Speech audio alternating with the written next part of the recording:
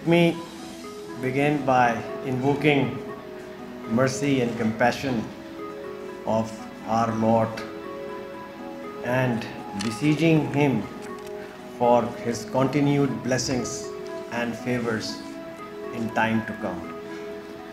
And let me also affirm our deepest loyalty and regard to the one who declared that he has been sent down as the teacher. Ladies and gentlemen, here I stand at a very important juncture in my life as well as in the history of UMT. I am indeed delighted to pass through this moment and I feel truly very lighted since this morning. I have spent 27 years in this job and it pretty much defined what I did, what I said, where I went, whom I met, what I wrote, and what I decided for myself as well as others. It is for me actually a dream.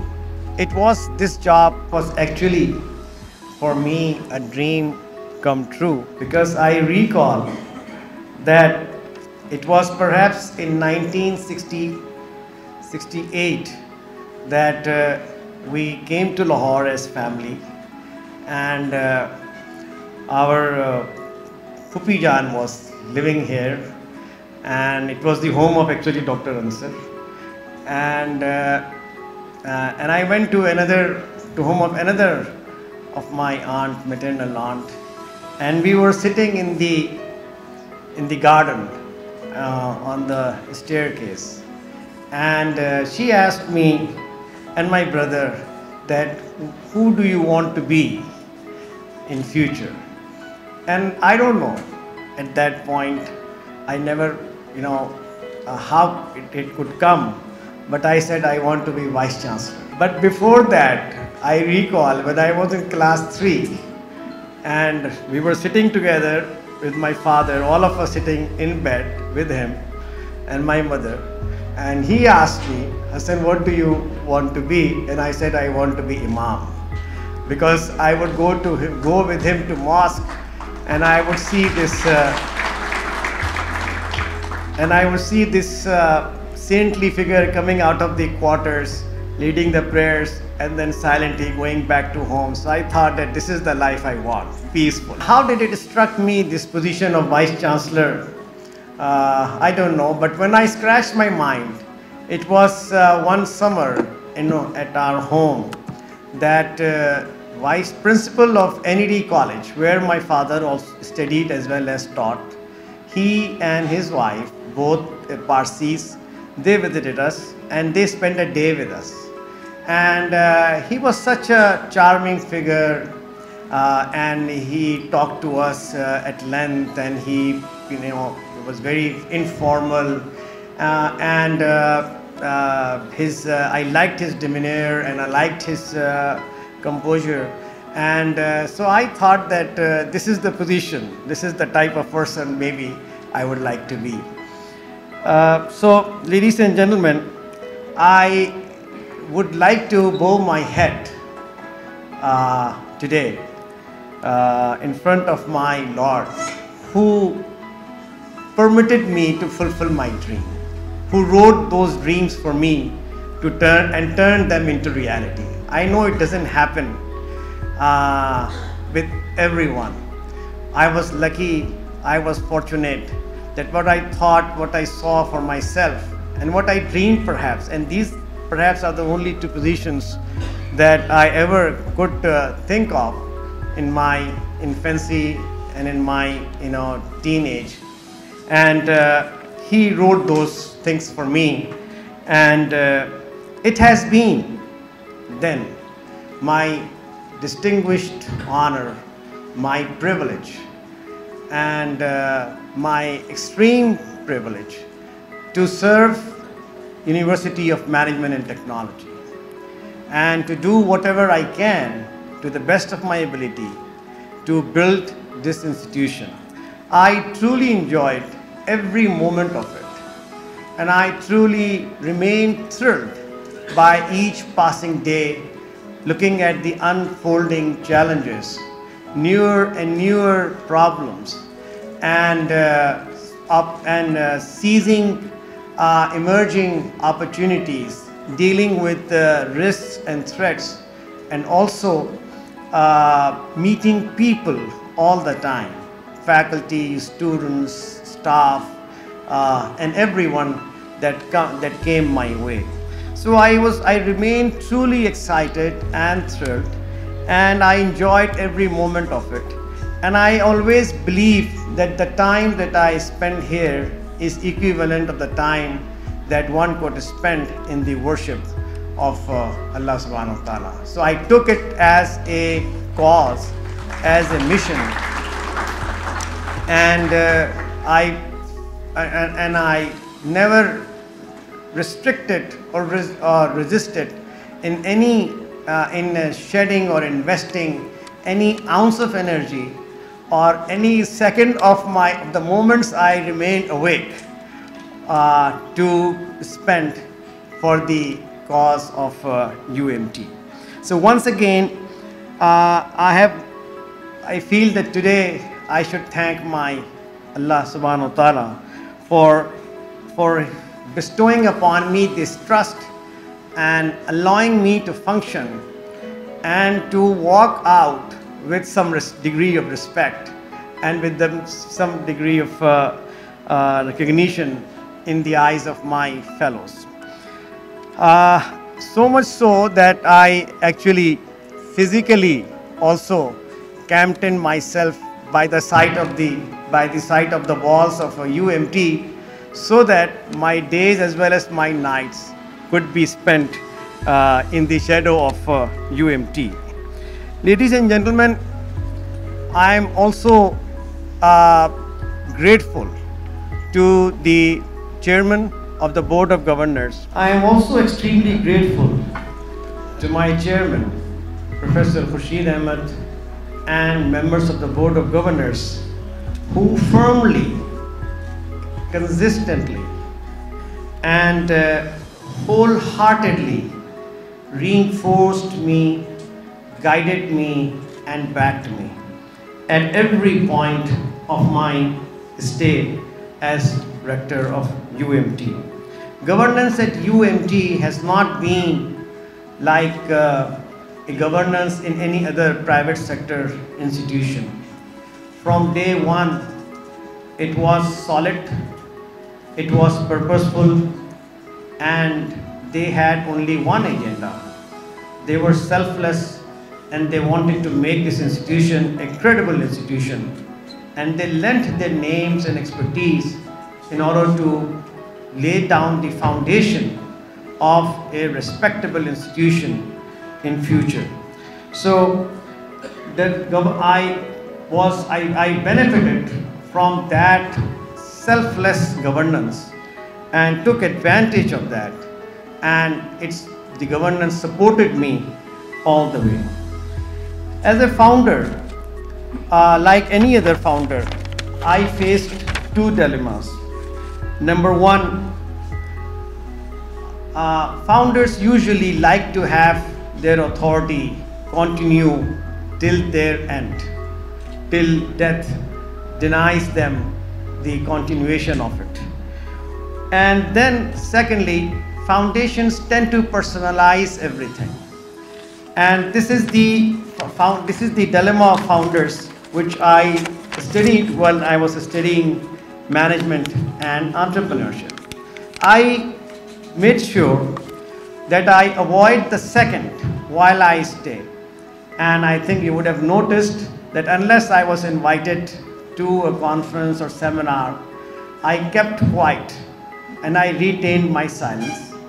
And I always refused any media uh, you know, request for interview. I didn't write in newspaper. And I think apart from the photographs of convocation, I made sure that I don't, my photos don't get published in newspapers or in the uh, billboards, etc. So because I learned that in order to make a good institution, all we need is good work. And if good works, good work takes place, that work speaks for itself. And that work then draws the attention of those who want to and they can reach the institution. So I avoided that kind of personalization during my uh, stay. And I think I'm escaping the first dilemma today by voluntarily uh, handing over the charge to the next rector. This was my uh, greatest of the this was my greatest of the wishes that I see for myself an orderly transition from myself to a new rector. And and hence confirm the unique strength of UMT as having the forward capacity to proactively deal with the major issues. So I believe that we have courageously taken up that task. I tried to, uh, I tried to withdraw myself, uh, in fact, five years back, but then chairman and board talked me out of it and and they promised that you continue for five years. And then the next five years, I really worked my heart out. And five years, we saw a lot of uh, progress uh, within UMT, and I maybe they were right at that point, and it was uh, rather early for me.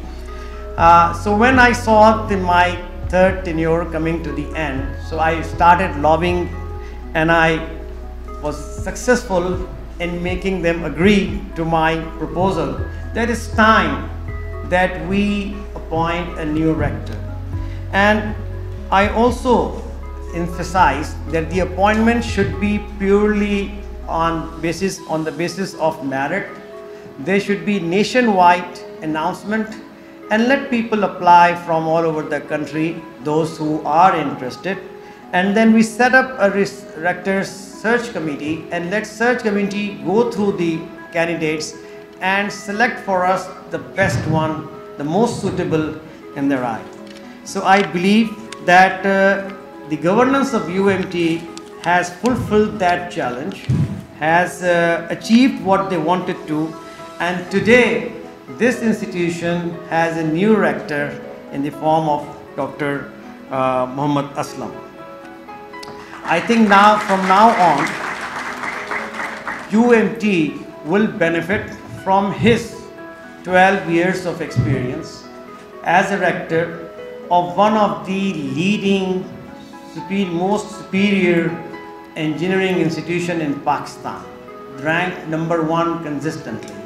So he brings with himself his education and his experience in science and technology and also his uh, exposure running a number one the number one institution in Pakistan and we have created a depth in our leadership that I would continue as chairman of ILM Trust and Board of Governors and would extend to him my full support, wholehearted support at all times, just like the way I received it from my chairman which emboldened me and which uh, allowed me to take courageous actions to experiment and to meet you know successes as well as uh, failures.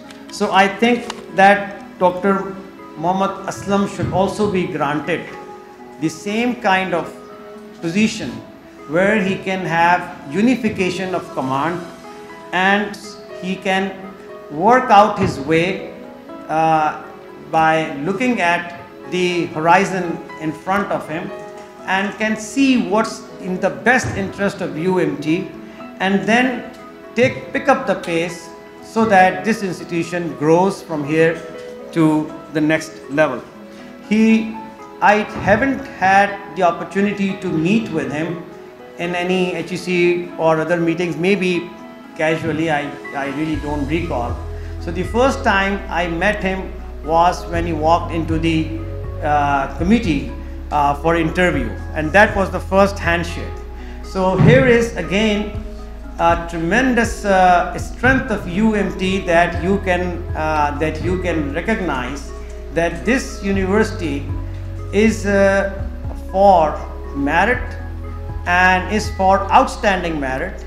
And if a person is willing to lead at, from the top position this university agrees to it and opens its door for the person and let let the person lead itself the whole institution uh, in future years so this is the sign of a good institution and I hope that this will continue in future.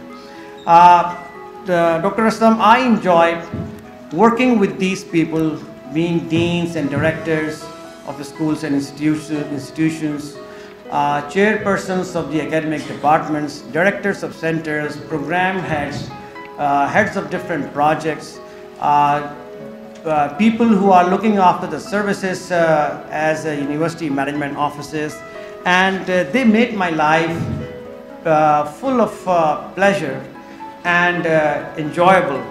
And uh, with consultation and collaboration and your uh, vision I believe that you will be even able to get better out of them and lead them to great successes. And reciprocally I also hope that the tremendous amount of trust and cooperation that I received from you, the love and affection that I was, uh, I, that I always, uh, uh, with which uh, I, I always remain overwhelmed. I believe that you would extend the same, in fact, in greater proportion to Dr. Aslam.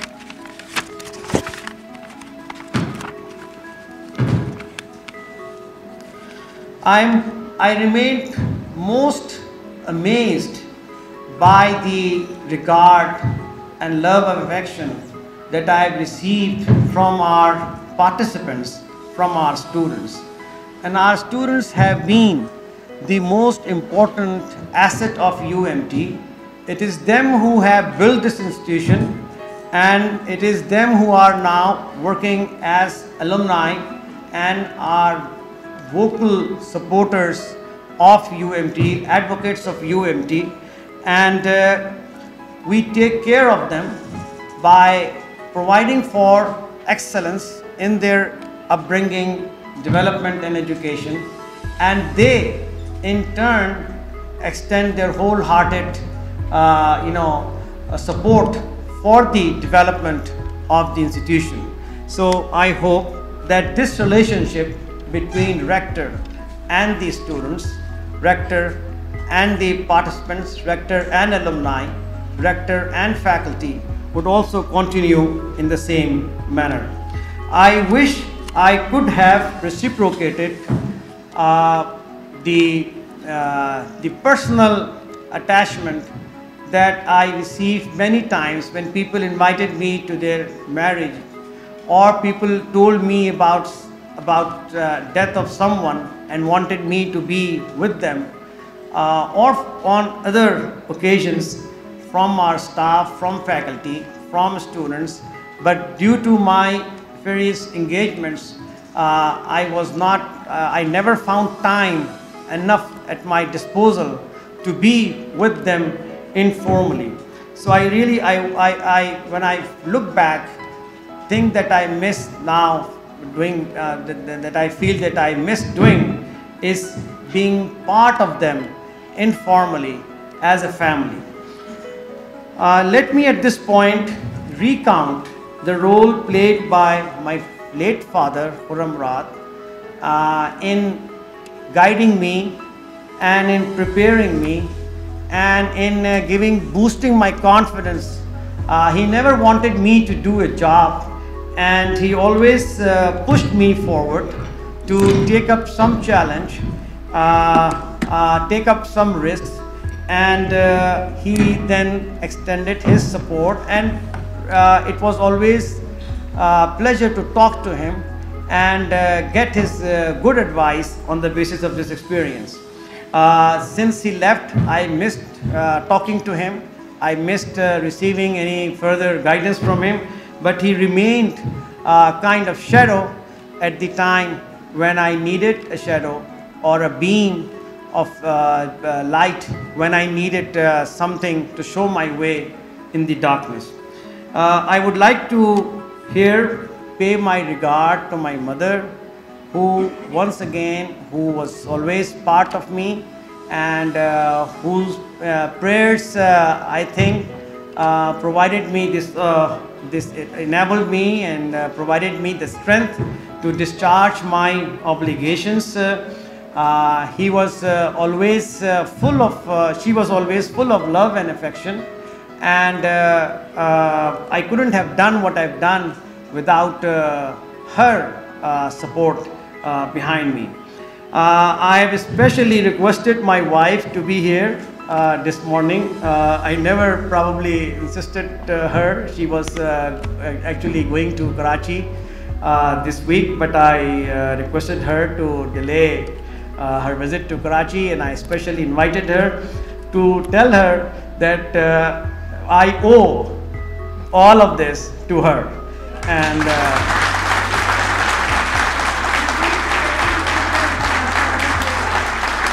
I could never find time to visit with her anywhere, uh, family or dinner or uh, whatnot, and she silently bore that loneliness at home and she paid the price and she sacrificed with her time and everything. And uh, at home, she did everything for me that possibly I could expect, in fact, more. Uh, I never had any problem from my home which could uh, hamper my performance uh, outside here at UMT. I would like to uh, pay my regard to my uh, beloved uh, daughter Mariam as well as my beloved son uh, Ibrahim. Both of them have been part of our existence and I'm glad that both without my any ins- insinuation, both agreed and both willingly uh, adopted this uh, field of training and education and development as their lifelong pursuit. I would uh, fail my duty if I do not mention specifically one person name, uh, Mr. Abid H.K. Sherwani. We all know about him. I met him when I started, when I came back, returned from America, and I started teaching in Punjab University, and he was in my class. And since then, it, we, the two of us have remained inseparable. And uh, he has been the, he has been the, I would say, the rock on which I could stand. Uh, because I moved to Lahore, I knew people in Lahore, of course. I had a lot of friends in Lahore, but uh, when I started work, I didn't know much, and it was him and uh, his. Uh, he opened himself, and he devoted himself. Uh, I never saw a person so loyal, so faithful, and so sincere and friend as, uh, as a person as uh, himself. So I again I owe it to him, and may Allah reward you for it. Uh, I, I know I've taken more time than I, than I was uh, allowed to, but uh, let it be, uh, let me complete my job. Uh, as a parting thought, for all of you uh, who are here, uh, very briefly, let me quickly run down some of the fundamentals that I want all of us to remain and to remain reminded of. Number one, uh, this higher, we remain too much engrossed in our, of course, scheduling of courses, assignment of courses, programs, and whatnot. Uh, but uh, it is important to take an overall picture of what this higher education is all about. Uh, to me, it is about transformation of society by advancement of knowledge and development of people. So, whatever you do, whatever job you have, whatever course you are teaching, whatever position you hold, and whatever you contribute, just tag it and try to see how it is contributing to the transformation of society by advancement of knowledge and development of people. Because we are here to do number of things but at the end of the day all of it should converge in this one equation and we should we, we need to see whether we are making this equation more powerful that is UMT is contributing and directly proportional to transformation of society by advancement of knowledge and development of people. I need all of us to be reminded of that. Uh, I would also like to uh, alert you with the link between knowledge and justice.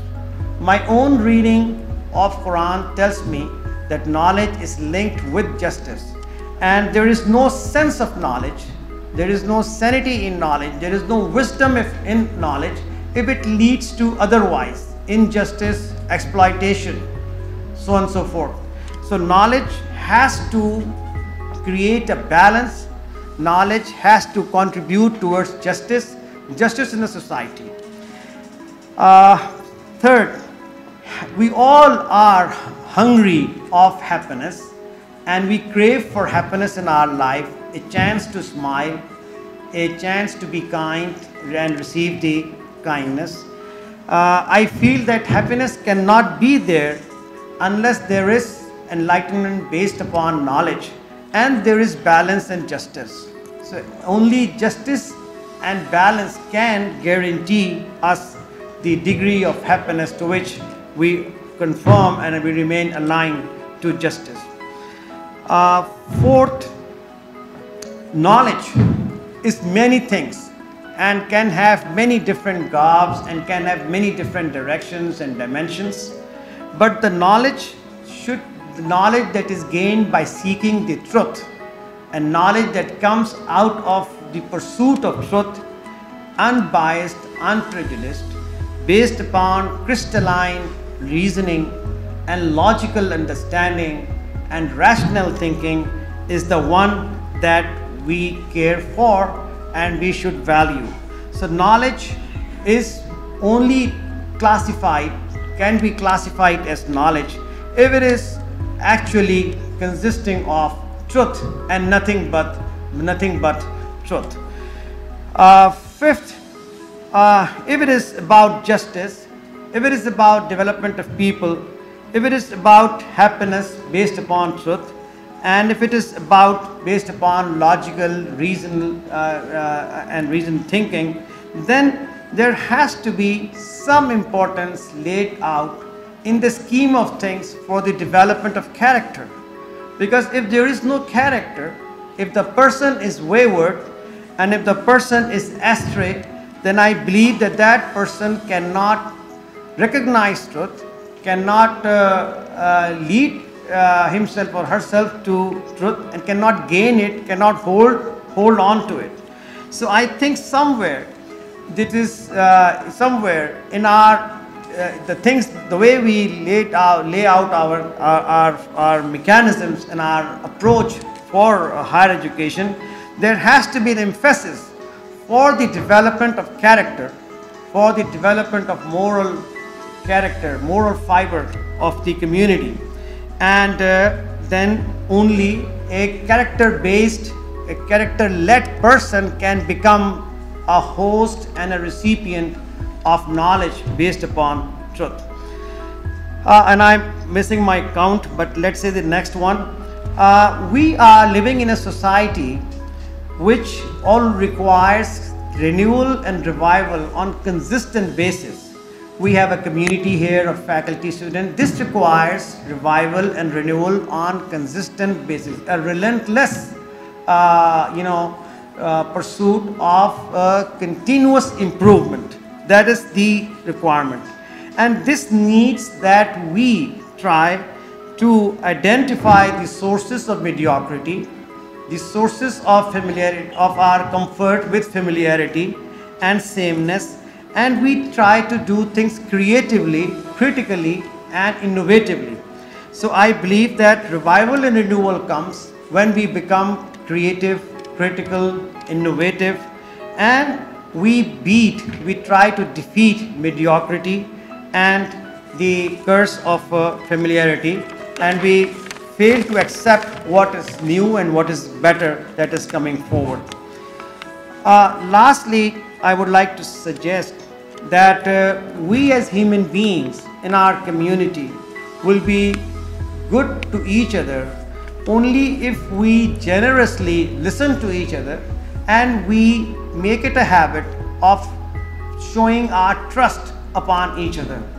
We may err in trust and trust can be is uh, can be can lead to success or failure but I believe that in human working and in human operation and in human relationship, trust is the only way which can develop the goodness and can help us, uh, uh, uh, you know, can follow the path of virtue uh, and can help us develop the good self among the people. When I feel that my parents have a great deal of trust in me when I feel that my friends have a trust, have, are showing so much trust upon me, that becomes my inspiration, my motivation, and my stimulation to hold on to that trust because then I use that trust and that trust makes my life better. It helps me doing things in my life.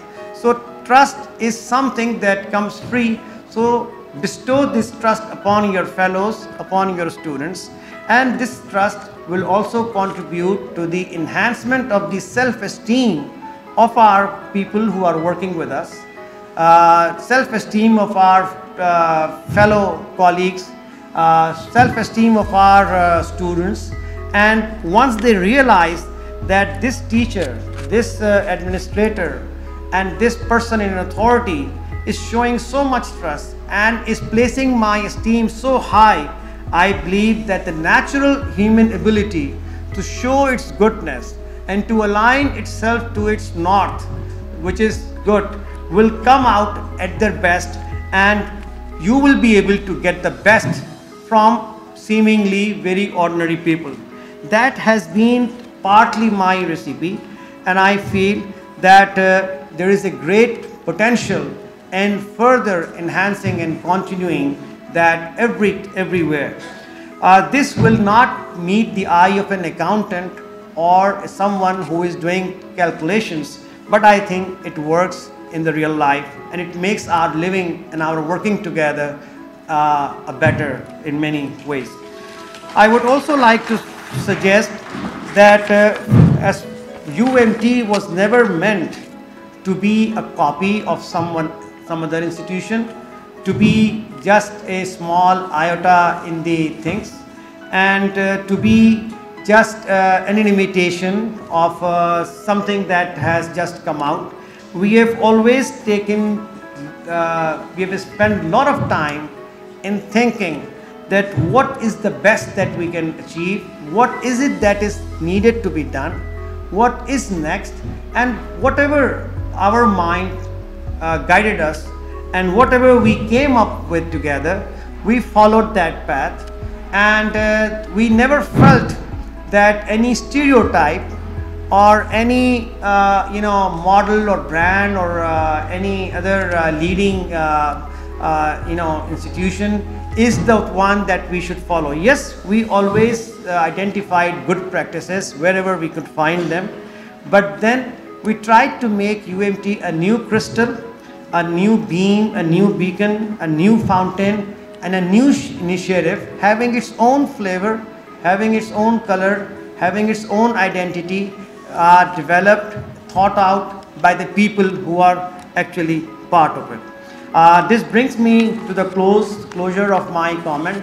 I once again, from the depth of my heart, thank you all, and I wish you all the very best in times to come. Thank you.